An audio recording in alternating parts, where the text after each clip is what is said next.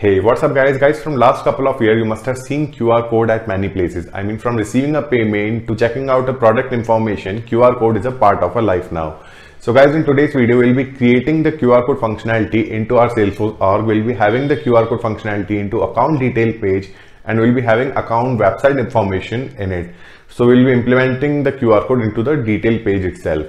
So guys, let's start this video. I'm Kapil, your host and you're watching Salesforce Code.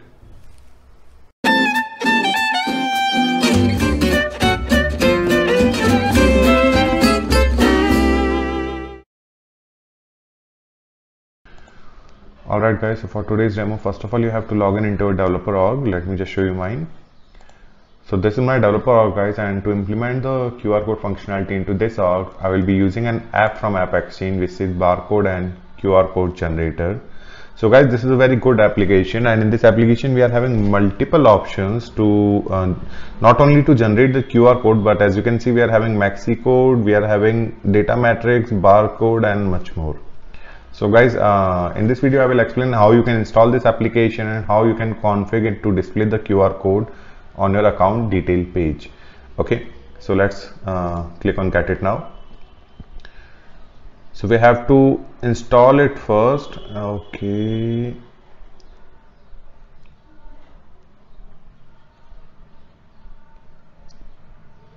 Alright, so actually I have created a new account for this particular demo. So it says my trailblazer profile is not linked with any uh, playground or any trailhead account.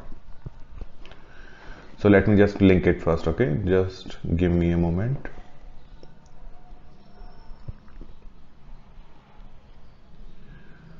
Okay so this is the option to connect more account all right let me just add my account here.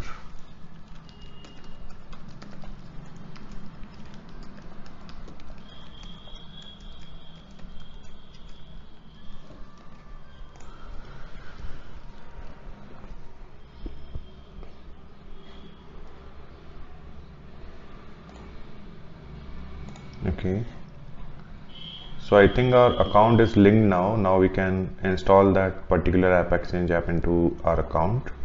So let's check it out one more time. Let's refresh the page once. So I think once it's refreshed it will allow us to install this particular application into our trailhead playground. Okay so let's click on get it now and let's try it one more time alright so it's asking to install in my in this developer account. So let's click on install in production. Okay let's wait until it's loading. So guys using this application uh, let me just explain what it can do. Let me just confirm and install first. Okay all right so i think now the application will be installed shortly. Okay. So guys using this application you can uh, uh, mention like uh, for which particular field you need the qr code for. I will show you by creating an sample for that okay i think because i have recently created this account that's why it is asking for so many verification and other details as well. Otherwise when I tried it in my personal account so it was not asking for all that. So let's install for all user. Okay now it will take some time to getting installed. So guys using this application uh, you just have to configure your object and your app uh, and your API name of a particular field for which you are generating this QR code or barcode. After that it will automatically display the related information into the barcode itself. So basically there will be a configuration part for this QR code and after that we have to add the QR code component into our account detail page to display the QR code okay guys so the application has been installed successfully so let's try it out now. Okay so first of all guys you have to go to app manager and search for barcode because we will be conf we'll configure it first after that uh, we can use it. Okay so let's create a new record here. All right uh, you have to give the configuration name like I'm giving test here. Okay so my account will be my object will be account and the API name will be let's say I'm putting website in it.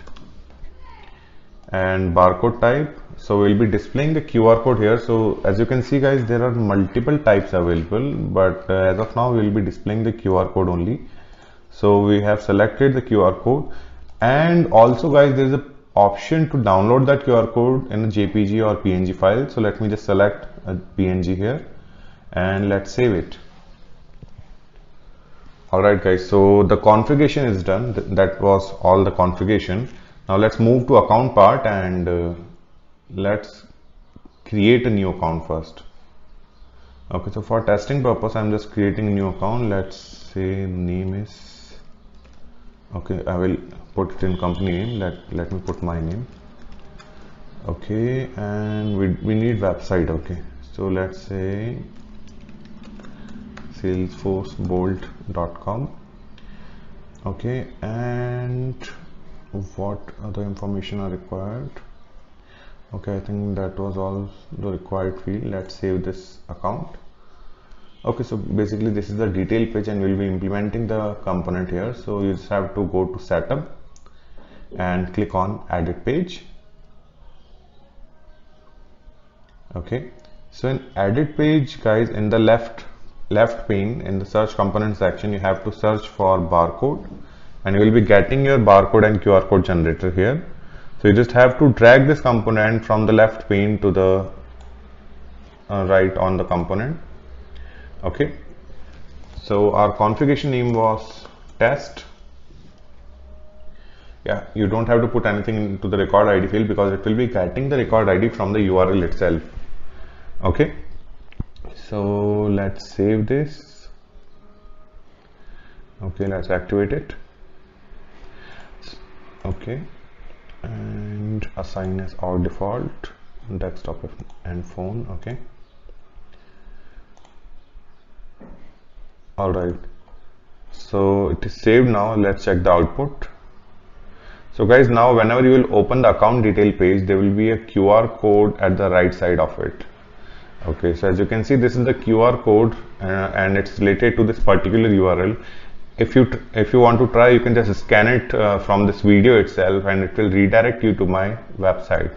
And also guys as you can see there is an option to save this QR code in a PNG format. Like suppose if you would like to send this QR code to someone else so you can just save it and forward it to them. Okay so guys uh, that's it for today's video and I hope you learned something new and if you like the video guys a subscribe to the channel will be awesome Hey guys, I hope you liked today's video. Please don't forget to hit the like and subscribe button below. Also let me know if you have query in the comment section below guys. I'll try to revert back as soon as possible. I'll see you in the next one guys. Thanks for watching.